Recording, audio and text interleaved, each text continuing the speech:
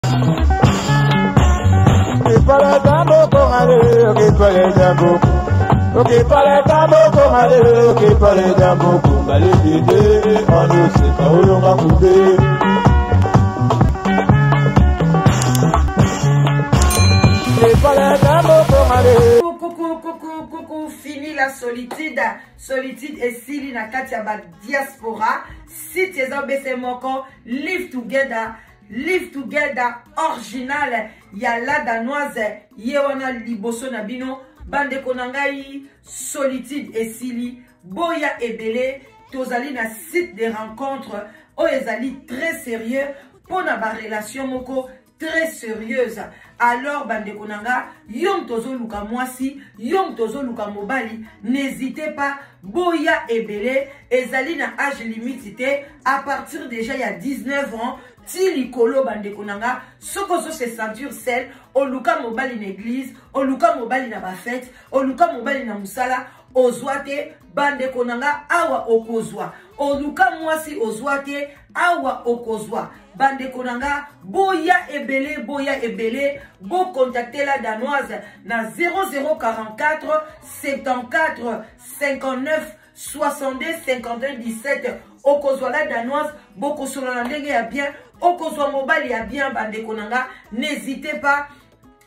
N'hésitez pas, site eza moko original, live together, love sur love,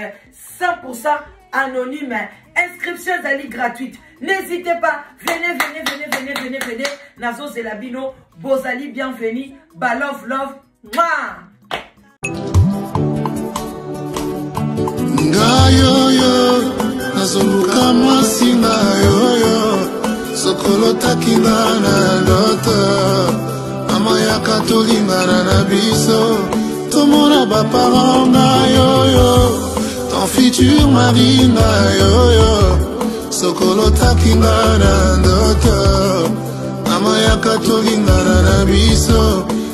Tomona ba pasteur mayo.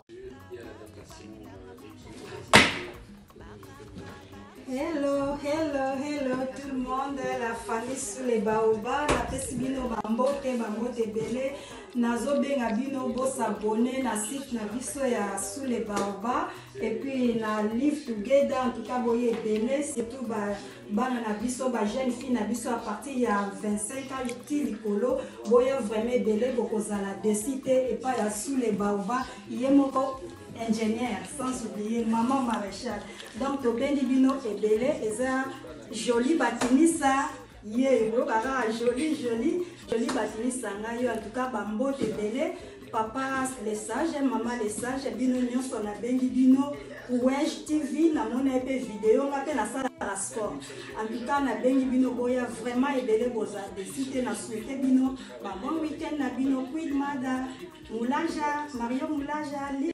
Bonjour, bonjour, bonjour, bonjour, bah, bonsoir. Ça dépend heure à laquelle vous allez suivre la danoise. Bambo te belé bisika biso bizui bino nzamba pambola bino na kati na banda na bino wana mama leki na bino la danoise oyo ayaka kosala ba analyse bande konanga tango mususu na yaka na ebandeli tango mususu na yaka na suka likambo oyo epeli moto etoki etoki bino nso boyebi yango topesa nanu bayenge bayenge na bandeko na biso bundu dia congo vraiment bashalom na bahomme de dieu bachantre de l'éternel uh, boboto bon ndeko na bandeko na biso ya église ya catholique et puis vraiment barespect ebele ebele ebele na bachef coutumier na biso lungwila ezanga te bango batambolaka ndenge wana epuis tokei mbangu babonsoir barebonsoir na bandeko na biso ya témoin de jehova bandeko na biso ya bima et puis neo apostolique tout tendance confondu boni oyo basepelaka na sous les baoba en tout cas bambote ebele bo aime video bo partage je suis là seulement mpona kokondane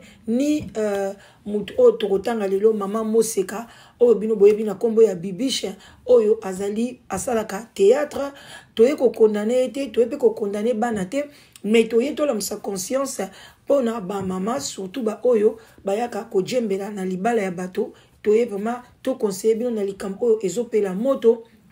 entre euh, ndeko mama epuis na mobali na ye epuis na bana oyo ya libala ya papa na papa nico je crois nkombo ya mobali na ye bocomprendre nga soki natangi bakombo wana vraiment bien te bocorrige parce que eza domaine vraiment ya nga te mais na ye mpo na nalamusela yango conscience parce que ezo sala vraiment kitoko te eza vraiment pasi koyoka audio ndeko mwana ya papa Nico asali esali ke nga pe na lamuka pona to lamusa conscience makambo oyo ezoleka epai ya ndeko na biso mama moseka ezoleka pe na bandako ebele na tango oyo yo alors bandeko na biso ezali mpasi na mawa bandeko na ngai na mikolo eleki antuka ezokende ba un mois ba un mois demi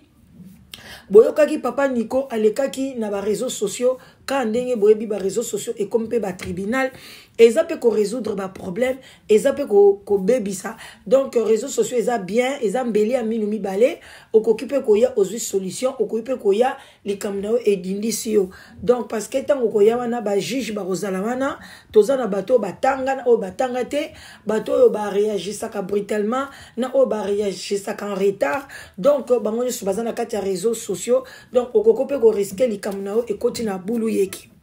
alors likambo ezali wana ndenge bino moko boyebi ezali juste ke ngai nazoka koepengle bapoint oyo ya minene oyo eza ngai nakolamusa yango conscience parce que moi j'aime la famille j'aime la paix dans la maison j'aime la famille babiloko ya mike mike wana nakozwa te badetail ya mike mike wana vraiment ndeko na nga ese de panama bokende epai ya ese de panama bokozwa badetail ya makambo ya mama moseka ye alobelaki yango na detail ya mike mike mike ngai nazolekaleka kaka mpo na kolamusela yango conscience bandeko na nga Euh, mama moseka azalaki deuxième euh, femme ya papa nico azalaki na mwasi na ye ya liboso euh, kombo na ye mama odile voilà mama odile nde azalaki mwasi ya liboso bokolanda bana na biso bayebaka tobetelaka bango masolo ndenge nini tokutanaki na mibali na biso donc soki okei na ndako nyonso baparent oyo qui se respecte babetelaka bana na bango masolo papa to mama soki yo obetelaka bana no masolo te ndenge okutanaka na mobali na yo ezalaka bien te soki mpe ozwaka mobali ya camarade no beta lisolo soki mpe ozwaka mobali na nzela beta lisolo soki mpe azalaka yaya camarade na yo beta lisolo soki mpe ozwaki ye na bareseau sociaux betaka lisolo epai ya bana na yo esalaka bien lelo bie lobi kuna oza te bakoyeba a ah, mama ya biso alekaka boye ekotika lokola na histoire na minoko ya bana alors nakolanda nakotyela bino audio ya mwana na biso ya mwasi mwasi kitoko vraiment eh, papa eh, ya mama odile akoexplike biso ndenge nini papa niko bakutanaki na, na mama na bango epuis voilà nakotyela bino yango mai nameka koloba mwa moke bokolanda yango mpo nazolamusa conscience donc euh, Eh, mama eh, nalandaki mpe ye moko mama moseka ndenge alobaki ke akutanaka na papa eh, nico ye andimaka na ye kozala deuxième bureau mais mama odile andimaka yango te oyo esali ke mama odile azwaka problème souci aye kokufa mama moseka c'est normal aleka akoki ako koloba na biso 100% ya verite te parce que azali deuxième femme ba deuxième femme soki baye na bana libala ya mutu bayaka na lokuta eza vraiment eloko moko ezalaka vrai bien sûr ke ezalaka ke ezali faute ya deuxième femme te ezali faute ya troisième femme te me nayebaka te ke basi wana bayaka après mponi botambolaka na lokuta malamu botambolaka na verite parce que ezalaka bafoti na bino te donc 90 pourcent ezalaka foti na bino te parce que mama moseka azalaki camarade ya mama odile te bon bino moko boyebi bata théâtre mpe bazalaka na bakisi na bango oyo ya kobenda bamibali ou bien ya ko parce que ayebana ezaka lokola monde moko kaka neti ya musique alors tomoni ngai namoni na ngai bakisi ya mama moseka te mais nakolanda histoire nakomona mpe monde oyo azali moye mpe to épargne mama moseka ke ye asimbaka bakisi te eza te mpona bango nyonso presque totyaka bango kaka na saki moko tellement déjà akomi déjà koattire bapapa poto bakangi ye bamitakala aza vraiment na mwa babiloko ebele oyo papa nico azali koaccuse ye alors euh, bandeko na nga ezosala mpenza kitoko mingi te atant que mama atant que moto alekaka liboso mpona koteya masse alors ndeko mwasi andimaki kozala na libala ya deuxième femme azalaki mpe deja abotaka azalaka na mwana na ye ya moke ya peu près ya ba 4 ans papa niko aye kolinga ye aye kobota mpe na papa niko bana mosusu mais awumeli vraiment na libala wana bombanda pendant plus ou moins 20 ans avandi na mwasi wana me mwasi wana accepta jamais accepta jamais ke mobali na ye azwila ye mbanda epuis mbanda ya nani ya mama oyo bino mobobi mama moseka baza bamama moko baza monoko deja aza monoko donc abandaki deja kokende kopiblie mobali na nga boye mobali na nga boye nga si natala ye azolakisa ndako na ye azotongisa ya betage banini en tout cas mpo na nga nakanisaka kutu mobali na ye mpo namona mpe mwana na ya mwasi aza lokola metise boye nakanisa mobali na azalaka libanais oyebaka te ke mobali na aza kaka congolais metise ou quoi que ce soit je ne sais pas voilà alors euh,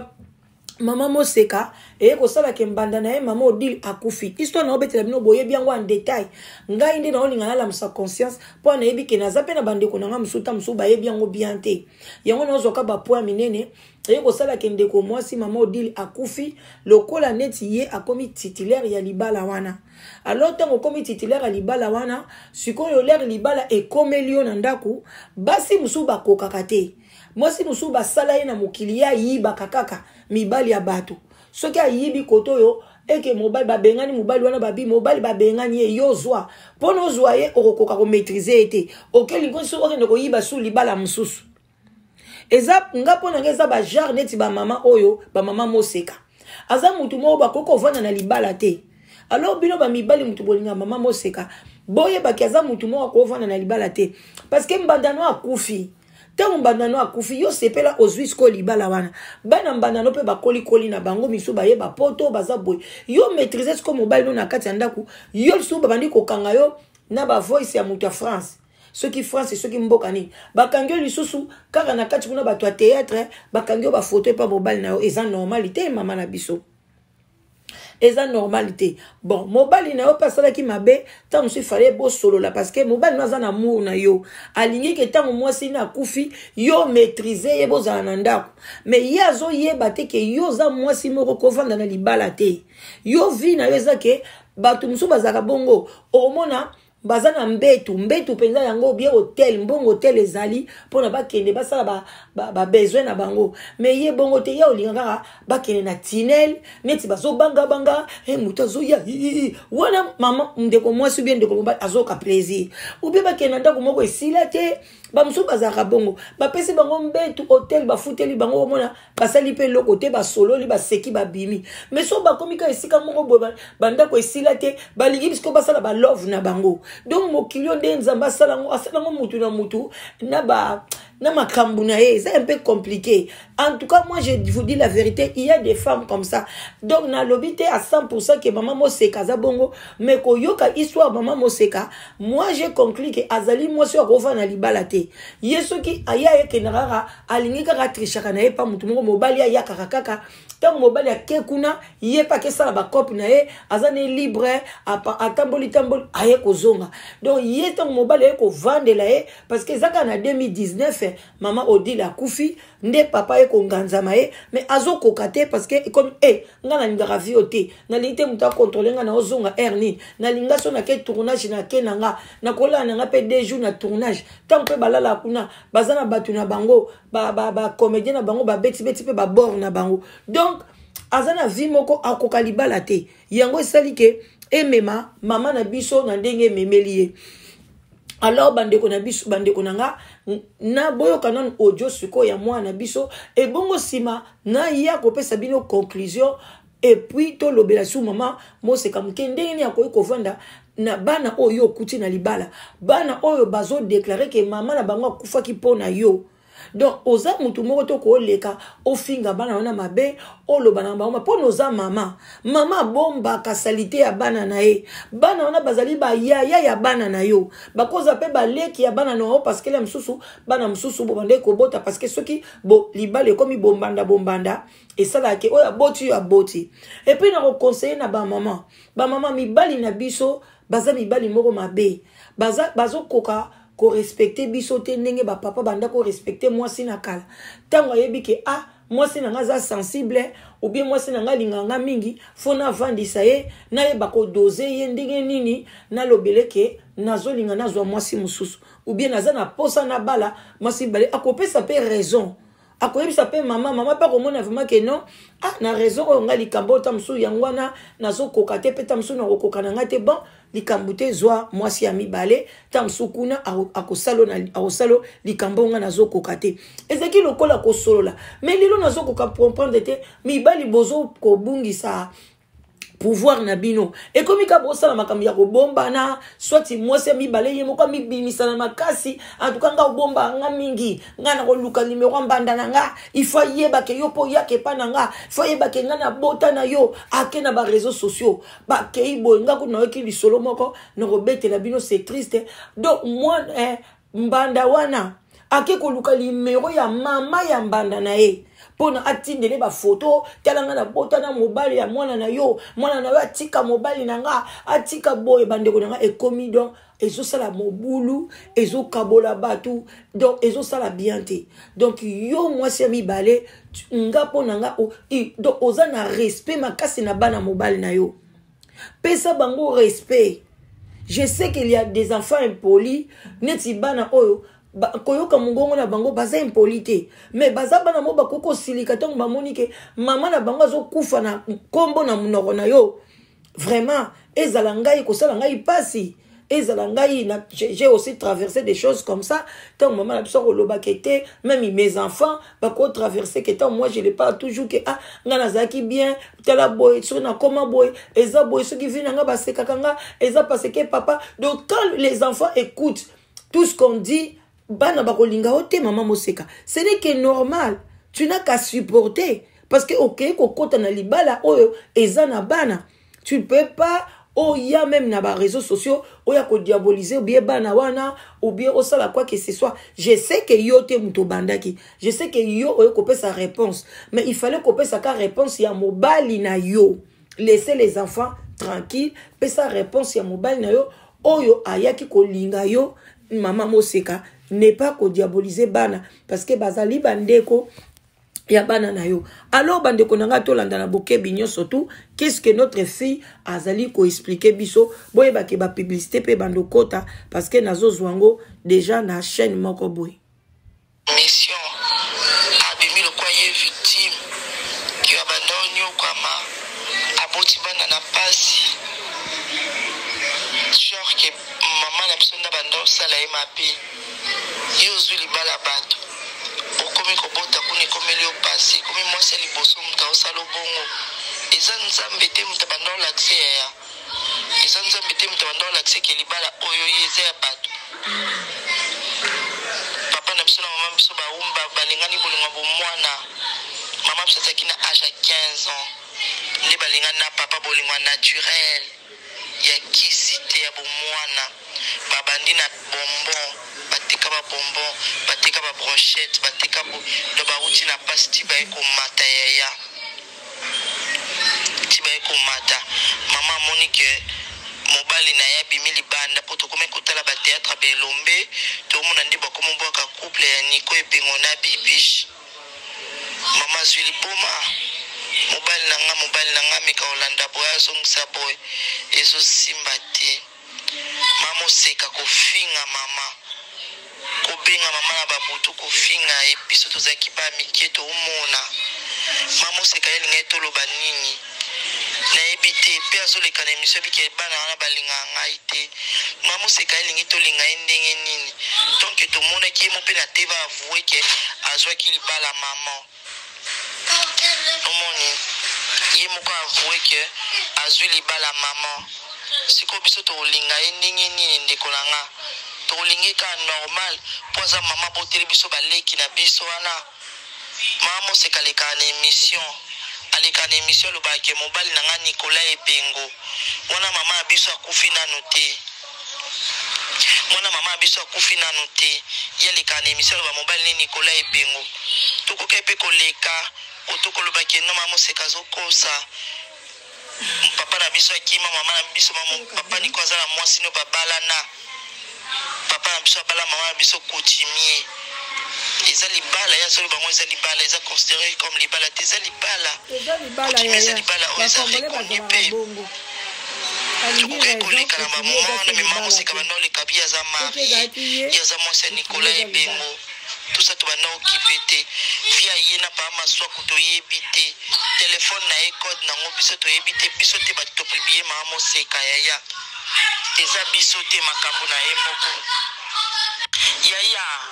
papa na biso na mama moseka balingana mama ayebaka te mama yo oyebango na bateatre bakomi obwaka partout niko mobala moseka niko ebengo mobala bibiche niko ebengo mobala bibiche nde biso toyaki kocomprendre na ndako mama mpe ayaki kocomprendre Maman akokaki te zuwa zuwa zuwa tokomo kende ti na ba groupe elombe kopekisa mama moseka atika papa ye mama moseka alingaki kotika papa te akangami mobali yaya mama moseka okangami mobali mama ya biso aye ozwa avc mwana biso bakende na papa kuna na ndako ya mama moseka ntango bango bakomi kuna mama moseka alandisi leki na biso mbwa leki mbwa aswi leki na biso leki na biso ntango aye na ndako ayebisi mama nde place mama atelemi alobela papa niko ndeni mwana yo e mwasi na yo alandisi mwana nga mbwa nde ka mama atelemaka aloba bomba mo maboko ekomi olenga ye na monoko avc mama ebanda wana ti mama biso tension avc tension na avc ti eyome mama biso na liwa mama biso akufi na mai 2019 le 29 mai 2019 opesaka nga mpe ba, ba, ba Opposant anga pe ba condoléances. Donc ni maman akufa bongo to maman azalaki no na bomoi toloba mabe ya mama moseka te alekaka na batv asalaka baemission na ye mwana mama alobi ke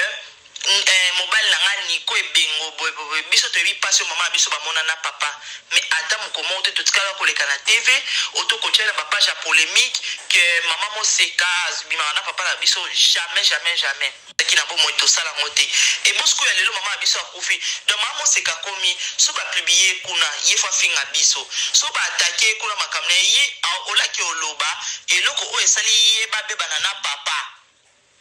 omoni papa kangi ye na baconversation Ndenge papa alobi ya ba masuaku, ba conversation ya mutu ya poto so kuma se, ba conversation ya mutu moko azalaka na Dubai, ba conversation ya papa wana oyo bomoni ye na photo azo simba ye na sexe na ye, aza pe mobali ya batu. Tangu papa akangi ye na ba conversation wana, asenga ye mwasi ne basolola à l'amiable, mama moseka atie kaka matata matata nde aza pe misu makasi. Papa amoni kaka eh elekeli ye mutu, basololaka bien na mutu moko boye ya publi. a presenta ba emission mutu na ye moko nani noko desho denard nde place papa ayaki kobetele mpe lisolo yango nde makambo yango ebimi mpe na réseau sociaux e ezwi ekla mama moseka ye olaleka aloba ke so ezalaki na kimi libala eza mpo mobali na nga amonaki nga na bafoto na bavideo ndenge na osise mwa mobali ana aza mobali ya bato mamoseka aleki ne mpo na bongo te mamoseka akei eh. aki ofinga biso bandumba biso toza bana mabe Maman yo loleka moseka oloba oyo esali bokabwa na yo na mobali parce que na 20 ans na nyonso nde mama moseka azo explique Mo- mobali abanda ofinga ye atikaka ma eloko nini oyo esalaki ke mama moseka obima na ndako boweli nini mpo yo obima eza bakangaki ye na bafoto na bavideo na bamessage na bavoice ya mobali ya poto oyo bato nyonso tu bayokaki mais mama moseka ye aleki alobi yango te ye akende kaka kofinga biso mpo ayebi ke biso mama na biso akufa toute façon so akosi likambo mpo na mama na biso mm. mama biso akolambuka te mpo ake otemoigne omoni eyesa biso mpasi makasi biso tokoka kokota makambo oyo te soki ezali biso tooloba boye eza parce que mama moseka mama moseka moto aleka na tv bakoloba ke mama na biso bakisi mama na biso yaya yo obotoli moninga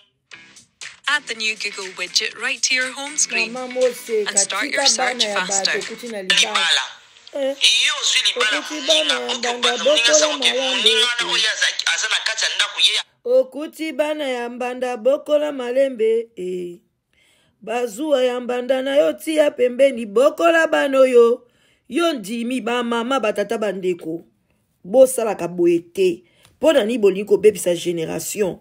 yo okuti bana ya mbanda eh? soki omoni kokokoka kobokola bana mbanda te bondimaka mpo na nini mabala deuxième bureau oyebi te kele mosusu mbanda kokufa lobilobi yo nde okobokola bana wana boyebaka te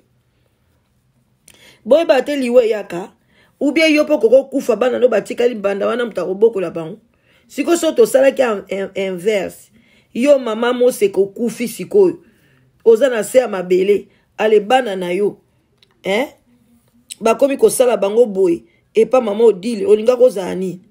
koma bana mwana ayepa na olandisi ye mbwa eh? bomoni bato oyo bazala na bateatre wana barole oyo basalaka wana kaka nde bainkarnaka barole na bango ndenge mpe ezalaka batemperama na bango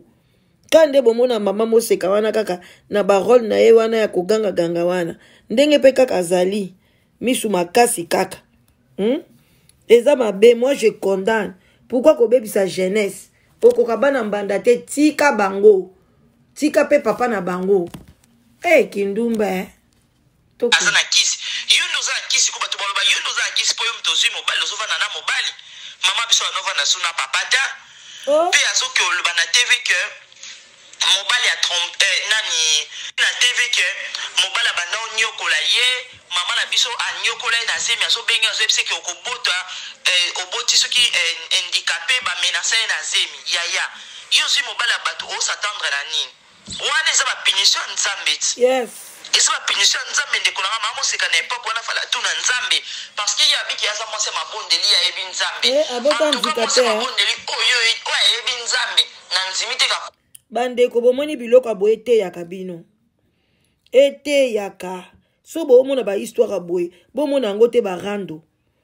bomonaka yango te barando yaya okomona kaka boyokaka rando eyindi kuna ye bazoloba mama moseka asambwe te oyoki histoire bien eteyi yo eteyi yo ozwi obie soki oza na mavi wana te oyebisi bana bana ye tala makambo nazoyoka mama moseka abota andika mpe bozwi mpe bandeko aksa mpe boyokaka makambo ya boye eh? bandeko ezalaka mabe soki ozwi mobali ya bato mbanda wana accepte yo obie accepte yo na motema nde omona le mosusu ezalaka nango probleme te mais soki accepte yo to azolela mpasi oyo namonaki yaya okobota ndika mpe okobota bakizengi okobota bango bolinga bolinga te okobota nzambe akopesa etumbu e, akopesa etumbu nzola nde mama boseka bota bana mwana aza normal te eza mpasi hein? epuis mama ezalaka mpe bien te bino ba deuxième bureau eza malamu te soki ozwi mobali aza na mwasi na ye hein? so, li, en tout cas kolinga te ke mobali wana akima ya kokota nde epa na yo sikoyo akoma neti kokende pa première bureau neti kaka kokende keba place wana mpe elekaka malamu te yo ozalaka na position na ki deuxième femme tikela première femme ye moko soki alembi akimi na ye obi abengani mobali ah wana yaya ozwi na yo me ntango ye moko nanu abimi na ye mpa momwasi na ye te abengani nanu basisi makambo na bango te kowelela na yo te efutaka te lelo mama moseka euh, na libala yango ata bozongani papa niko me eza mpe elengi te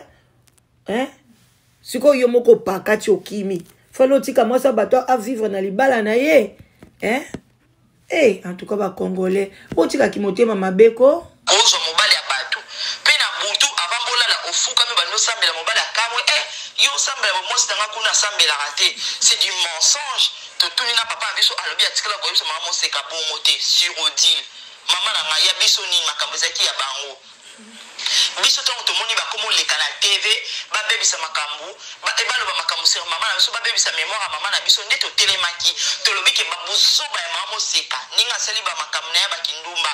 atya nkombo ya mama na biso te tolingi te tania so toleki toyebi ke tolingi te mpe batuni bino bao bana odile ezalaki nini tobeti histoire na biso ndenge ezalaki tofingi mama moseka te alakisa voice oyo bafingi ye oto na emission oyo bafingi ye au contraire biso tomona ye nde azoleka na tv mpo afinga biso bagayar zero afinga biso so bafrançais écrit me mamoseka mwana na ye wana adikte boye te aotelema na ngai te kosinvente te soki nini te ye akanisaki nde ayibaki vi na biso toza zero nde azoba bagayar zero nzoka nde nzambe alokotaka na se atomboli likolo tose retrouva wapi toza na bapoto Bomoni, toza na bapoto. Nzambe oyo aza Nzambe ya bolingo, atika abana na ye te yaya. Oyo ozomona wana eza koka ba confusion. Bakoseka ye moko azolekana te, balobi ke mwana ye abanda ofanda mpo bakamarade mpo mwana ye na papa niko banda oyokana te oyokana te na papa niko parce que papa niko akomaki kosere mwana ye amoni ke mwana komokoma mwa jeune fille soki amoni mwana baloyenge asilikeli mwana agangela mwana te okogangela mwana te nikoso ogangela mwana mpo aza mwana yo te papa kute mama oseka na mwana na depuis azali na age ya 4 ans ti mwana na akoli akomi jeune fille o te mobali nazogangela nga nga na mwana ye te ye mwana wana mama moseka ye moko alongwa na ndako papa abengana ye te tania ye mo mwana mama moseka alongwa na ndako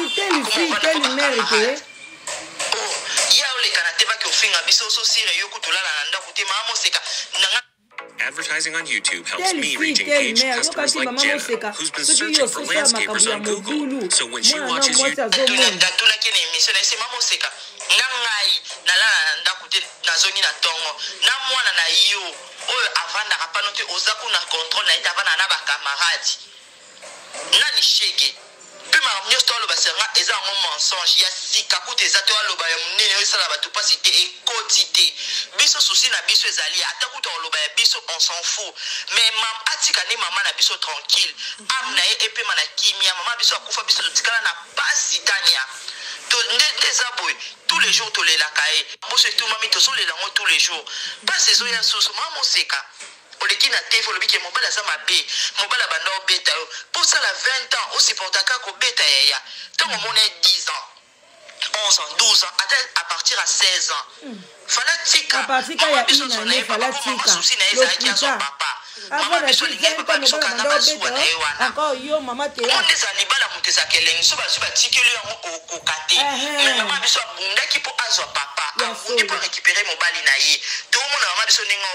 konda mama nini souci azosala semblant oyo te eloko te oyo te eloko te me biso toyebi ke mama biso akufa na souci ya papa souci ya papa eza nini mama oseka alobi ke apesaka nga conseil ipare abi ke oyo apesaka nga conseil ke sire eh, okoki osalelaka trésor zuwa te soki osalela mobali na yo zuwa e, mwasi wana okanga ye ndenge nakangaki nani papa na bino oh donc mamoseka parla alingi explike nini ke ye akangaki papa ye akangaki papa na biso parce que mama biso banda osale bamenace yango yabaki te na ovanda na nikola nko mais sikoyo lokola obaki ofanda na niko na nko donc affaire souffrir mama na biso ti mama biso akotisa mabele après ya biten eh, lokola odila yango akufi boye banda osanga bamenance tika na lâche niko non mama oseka akimi papa na biso kokima mpo bakangi ye na bapreuve bafoto ya ye na mobali bomoni yango na nitania avant kutu otuna nga boolobake makambo epanzanaki ezanga Bino bo moni yango ke ma moseka azo simba mobali mususu na sex na ye photo mususu ba pesa na bizu mobali yango pe a mobali ya batu ndeko na nga biso te to pesi ma moseka mobali wana po ani ya oleka finga biso biso te to kangi ye photo na mobali wana po ani mobali na ye soki a publie ye ye ola leka Aloba makambo ya mobali ye azoleka aloba makambo na biso to comprendre te donc mpe azoleka na tv aloba ke ngai naza victime eh, donc aomibimisa victime ko ye asouffrir na libala boyeboye entre temps ndao oloba bongo mama na biso mpe azalaki fanatika na ye mama na biso azwa na ye mobali na ye donc ye abimi lokola ye première bureau biso tozongi lokola nsima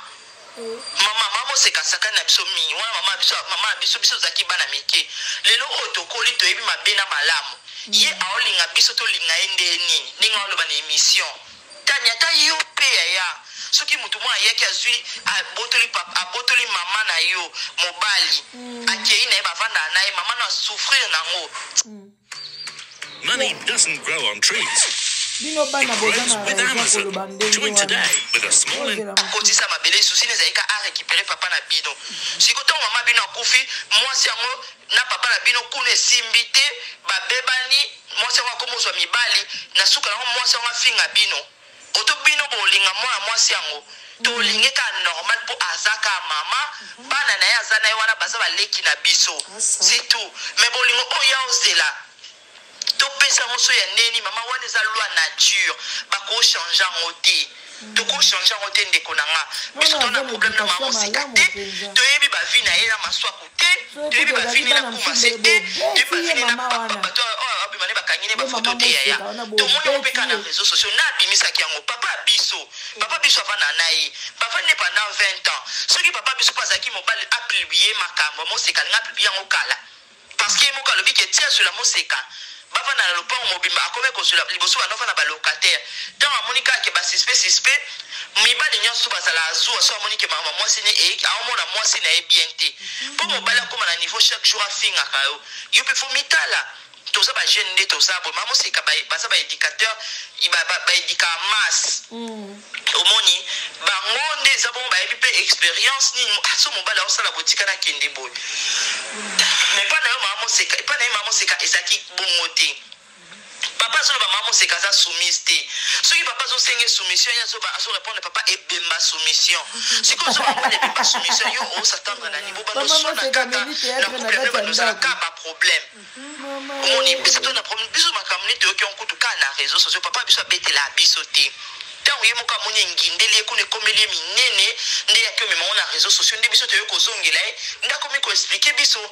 ye moko amoseka aleki na émission susu nga alataka pantalon naso nalali na mobali nanga nasokolaka te nalati pantalon mpo na pinir ye mm. aopinir mobali ne aopinir papa ya biso mm. donc ye mama mokolo bongo aleki na émission mpo aloba bongo nga na kokamwa likambo oyo nani tania nde baolatisa yango biso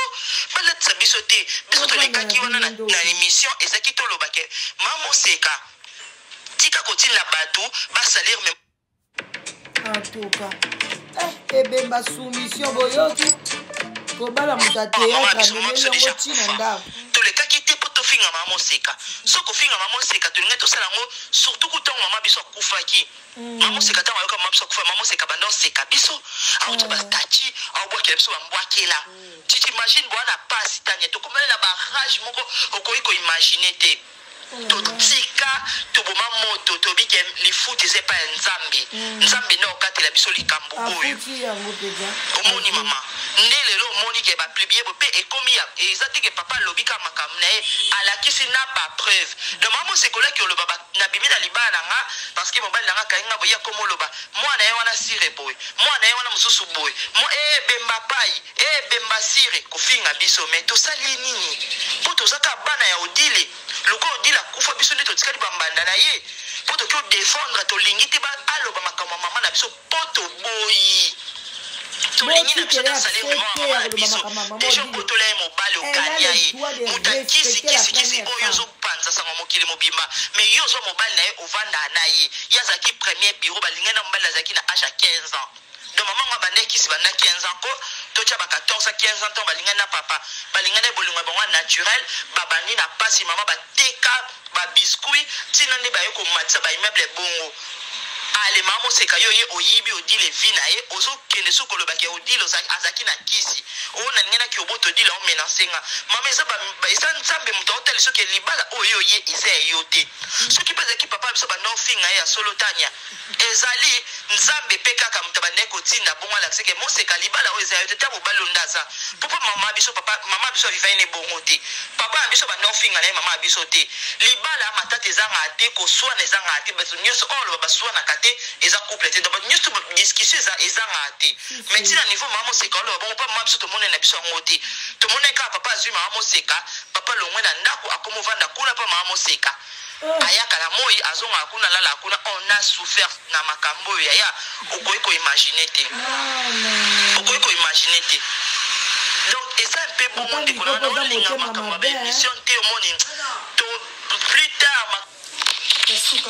ah tania ndenge kaka boyoka bongo mama biso tobomi libala mama moseka te biso tokomi libala na ye te makambo ya maa moseka na maswaku mhm. biso toyebi yango te biso tozalaka na poto toyokaki kaka ndenge mpe kuna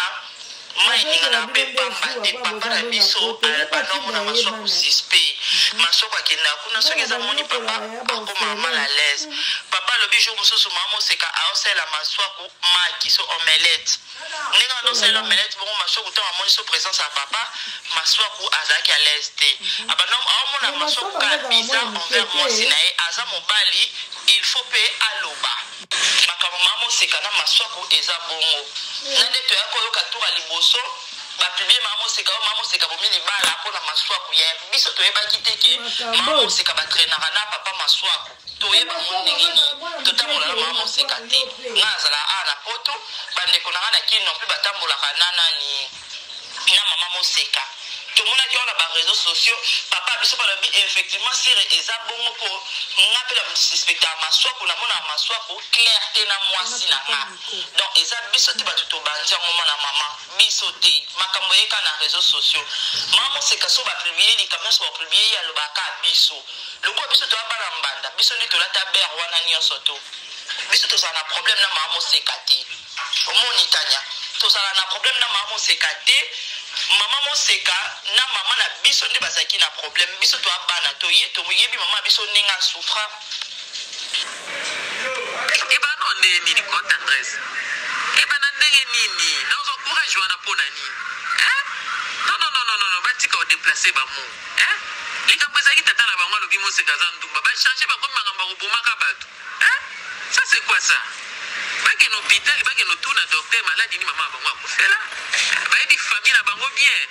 Hein nioso ba kufa po bango nioso na famille ba sili moseka mutu azizi bango hein ah, mama bango aza kotambola na garçon mo be micho na oswe kota maya kota maya kalamu batekaka ba kwa ba ba, ba, ba nini ba kwa ba oh, su nani oye ba kote yango meme micho wana kotaka makambo basala nga mabe mama bango bakekundele lelo le meme jour wana micho akufi ete ya bango te Osakana na nzambe nzambe ba nzambe ba edaka ye te nzambe ba edaka ye te ba yebelo mama bango akufela eh? nga na tikala ofinga mama na bango te tendresse mama na bango na bomo ina tikala kofinga te na oloba yango ba voice o oh, ma, um, irene masiandoki alekisa okoyoka moseka ndenge azofinga moto akufa na finga ye te natalisa bango na biba kiso mama bino alakisa bino na banzela mbetenge boke kotalisa soki nga mona boma mama bino bobomanga eh, bo banda wana bafana na bango kimia Meme famille pe ya maman na bango bavanda kima bayebi ke Moseka aboma. Moseka aboma te, akotisa pe trouble te. Na tika na okotisa trouble na fa, na foyer wana te. Na oh, Moseka na ba trouble na bango. Nga nde nazala surpris komona ke non naye kozwa zemi na kati ya mobali oyo aza boye. Na se na boti na sani. ozalaki surpris ndenge nini yayo olongolaka bilamba zemi yango omelaki yango na mongongo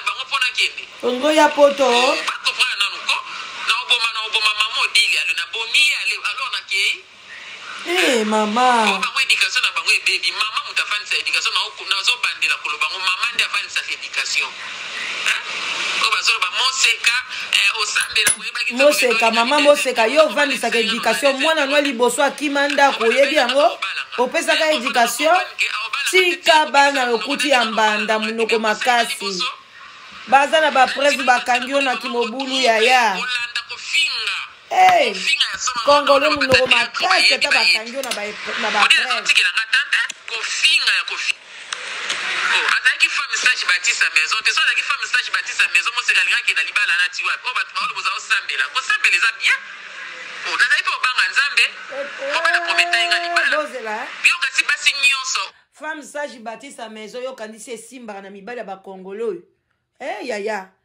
ata obatire ndako ndenge nini tika monoko makasi yo soki oza mwasi ya malunga okimi libala pourkui mwasi wana akimi na akufi na kati ya libala na ye me yo sikoyo yo oza mwasi ya malamu une femme sage bâti sa maison sikoyo opesi mpe ebimi na monoko na yo pourkui okei poko okei mama moseka kasi batire ndako te soki otiki papa wana akoli akufi bandeko basi ebaza ebele kuna mpe na kongo ya bien bozwala bino papa na bovanda na ye bino yo oza mama moko ko yo nde foka eluka elongi ya nzambe oza mpenza na bademo elandaka oyo kovanda na libala te c'est quoi ça qu'est ce que tu dis une femme sage batite à sa maison kasi ye alakisi yango mpo na ti akufi malgré mobali nde mobali nde aza source ya makambo oyo nyonso aye komema yo yo soki oza na molimo nini soki oza na makambo nini mama tika monoko tika koswanisa moto asi akufi na ye tika kosala zuwa na moto akufi baheure bakangi yo na bato ba, na, ba, na bazuwa ya mobali na yo banini wana eske mama odile motu azalaki wana mama tokendaka mpe na makambo na logique eza malamu te makambo bozosala bakongola eza mabe kaka monoko nasambelaka nkombo ya nzambe yango koma nzambe yango bokomisa yango nini lipa na, na manteka e hey, nzambe alobi botangaka nkombo ne pambapamba te yango boomema pays na biso na, na souffrance bolingi kotanga nkombo ya nzambe meme dans les bêtises yo moko olekaki olobi ke babala na bango nao yo te donc tu ne même pas marie avec cet homme là yo okanisaki ata okufi lelo kozwa bameuble yango kozwa yango te fo abala yo ti bana nde moto baza na droit na bana oyo oh, yo oboti ntango mosusu bakojembela wana mpo eza papa na bango laisse les enfants d'autrui okutaki bango na libala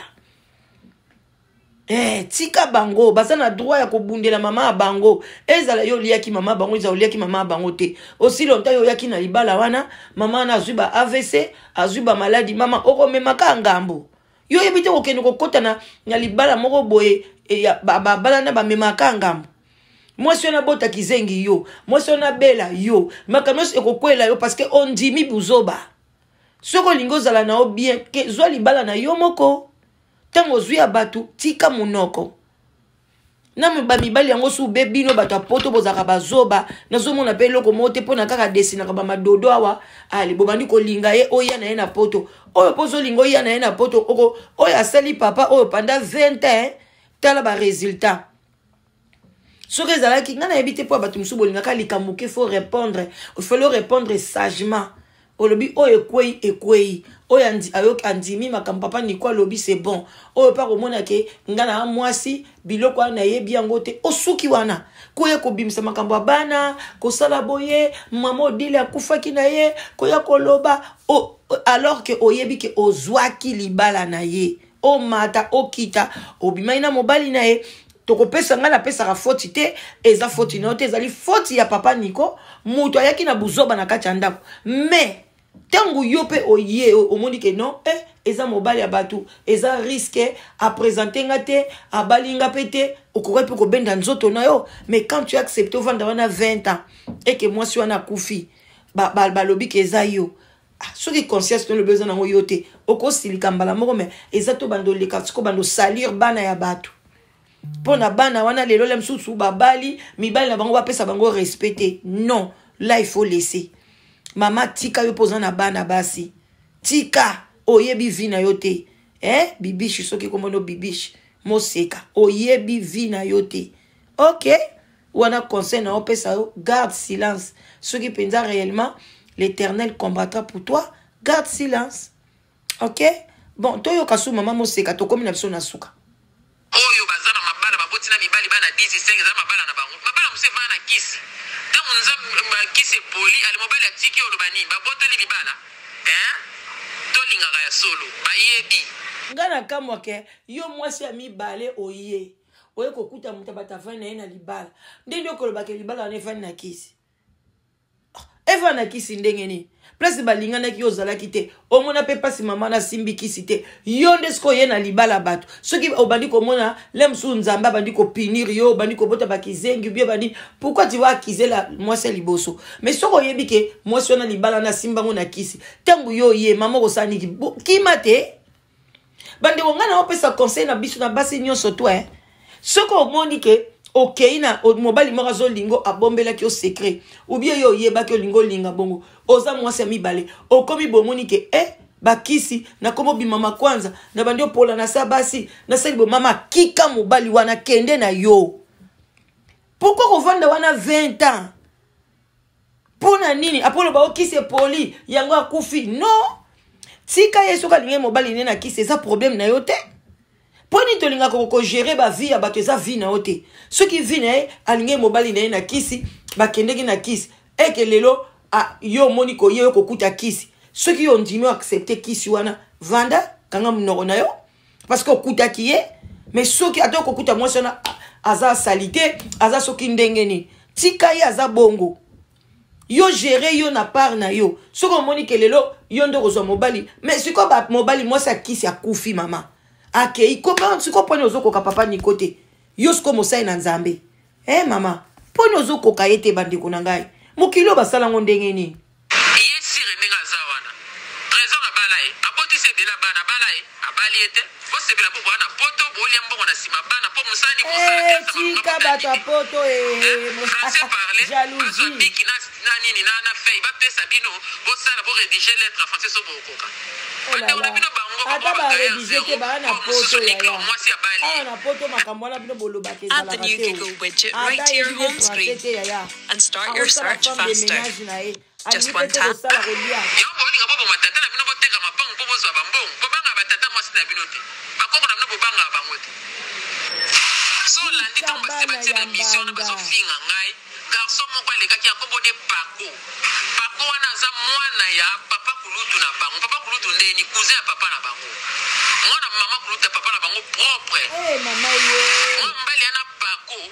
Na yambali soki une fois pe deux fois epa na ngai.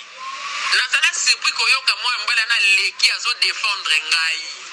Pe mwana mobali ana confirma ke maman ya ba ya ba Tania wana oyo azo loba wana azalaki na kisi makasi. Oyo abosani yango nani na kauka. Tendresse yaka na kauka na veni poko botuna kaka ke maman odile to yebisi ye kaka ke eza na marabu moko azaka place boya kosala elokisi pona Nico mbangu akeye tela bato balia ye ba mbongo.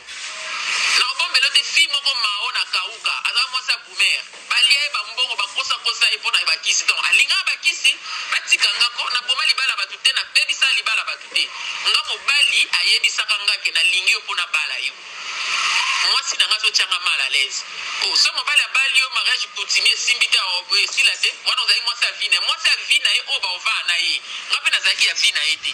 oyo akokoma nde ti bakesimba banzete ye wana nde mwasi ya vie na ye yesire wana azoloba azoluka solola na yo ye moto asalaka makambo na bamaswaku wana keno moseka moba mwasi ya maswaku bamona te bazoza baza contredi babwaka na page ya la mama moseka ndumba moseka boya boma mama na biso asala boye asala boye bayebi eloko mama na bango akufela mama na bango ape azala na sikre soki oyo ngai nayebi sikre mai lelo naye koyoka kino azala na kanser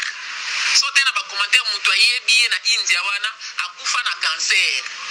mama bango komai kosenye moseka kaka batala famille na bango bien batala famille na bango bien nde babotama kote ya bomama kindoki eza makasi tika mbanda ata akufa kobimisa basekre nyonso sir abima na bai bai abima na rit oyo mosusu yana mobali abima na oyo mosusu basala bainseste na kati ya ndako nde baza na bana wana babanga na te bana mama moko tata moko eh, mosekaka moto ayaki kwamvute bango basala bongo oza na bamakila wana na kati ya ndako na yo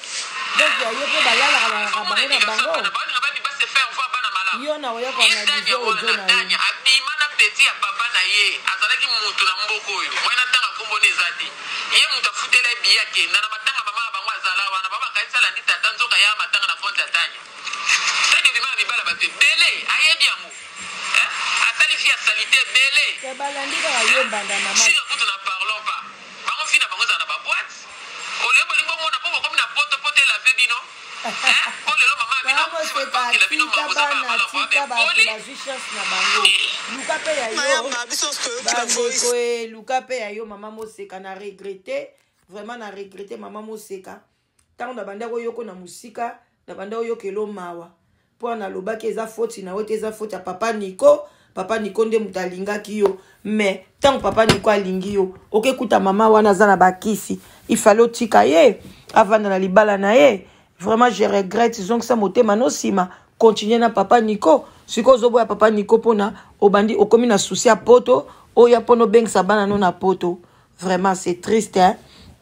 yo kanti mobali ozwi na poto eh, mosusu tuna ye bien soki asalaka temps plein ha mikolo bavise ekomi mpasi ti okoya kotula wana mpe ozoya te ke bakoya koregrete libala na yo ke bana mibali oyo ya poto oyo tuna ye eske asalaka temps plein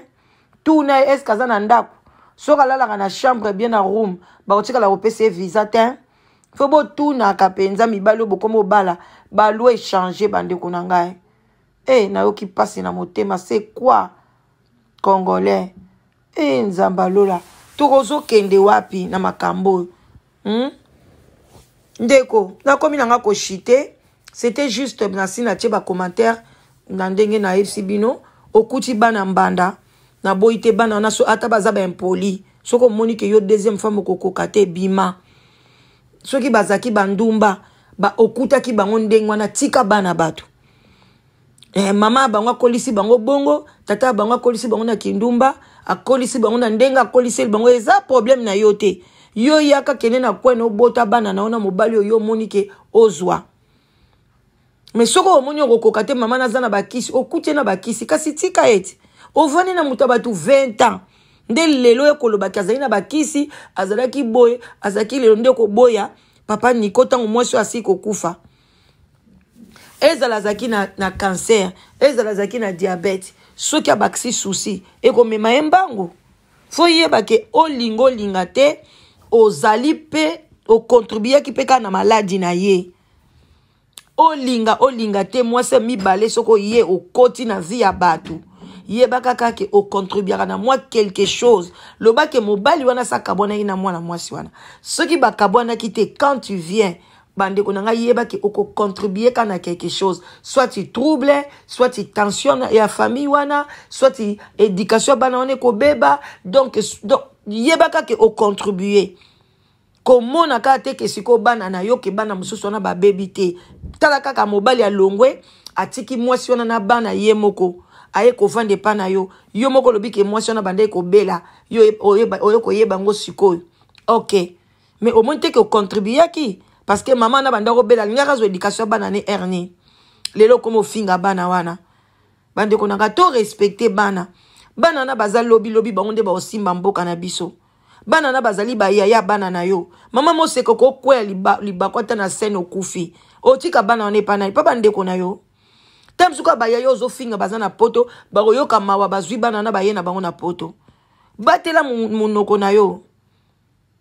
nga na osengola opesi okoa conseil mama moseka soki okoyoka nga parce que nazotya foto na yo na monene okotala okoloba oyo oh, soki nani alobeli ngai okotala soki oyoka nga batela monoko na yo mpo na sécurité ya bana na yo eza na ntina te tout est vanité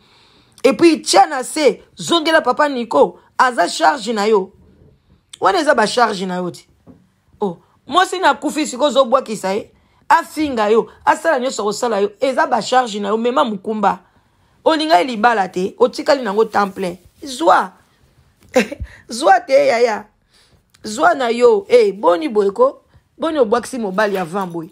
zwa ye ti mokolo ya bando osumba na bapantalon akomi koko bando osokola ye eza mokumba te oh bokendaka bamabala bato te bokende kobebisaka mpona bokimaka eh? non c'est pas bien okezwa libala moninga vanda kuna soki okokangama kangama moninga akufi fanda na mobali wana ozokoka kaka te okende obima na oyo obima na oyo sikoyo babiloko nyonso oyo bapreuve wana nyonso ebimi quand même yoka soni soki nga kutu yo na oloba na nga te opantema bwakaka monoko makasi soki na bateatre yango ntango bosalaka bomelaka lopipi soki mpe diamba moto esalaka bino nayebi te mpo na mona ere moko bokomaka na badesordre moko bino bato ya teatre je sais pas monde wana soki ebalusaka bino motu bozaka calme te bino tu bato ya teatre omonaka fo bosalaka bamakambo neti bokomi bapetit voyou ta bisu mpo na bamona bino bavedete batya bino na parce que biso awawa na bapoto awa bato ya théâtre toyebi bango te hein? toyebi bango te tomona bango na batelevizio te bazolekalekaleka nde bino bosalaka te soki okei na place baosala théâtre omoni mondele oyo azosala théâtre apart wana omoni te bino lokola bakomisa bino bavedete yango epesa bino motu mpasi ebebisela bino na métier epesa bino kindumba kimoyibi bisengasenga jamais moto ateatre apesi oka mbote boye lobilobi mwana na nga abeli tindela nga 50 nazangi bapolo boye na boye bisengasenga respect na bino esila en tout cas bandeko na nga wana ezalaki analyse na nga mpo na mama moseka mais ojo ya lobi wana e, na analyse yango mpenza bien te mpo na bande mpenza mingi kolinga nalobela mwana me naozongela yo merci babisou abonnez-vous abonnez-vous na sous le baoba Hmm, abonnez-vous et partagez. Naza na besoin bo s'abonner, bo liker vidéo et puis boya ebele massivement na Live Together ezali site de rencontre oyo nasala mpona kosunga ba diaspora congolais oyo baza na kati ya poto amérique canada eh, na australie boya ebele mpona ba mabala na bino kotikala te solitude ebomaka keba okoya kosala accident okezwa mobali ya bato babwakeli yo mbasu keba yaka awa ozwa mobali na yo moko merci bizu bizu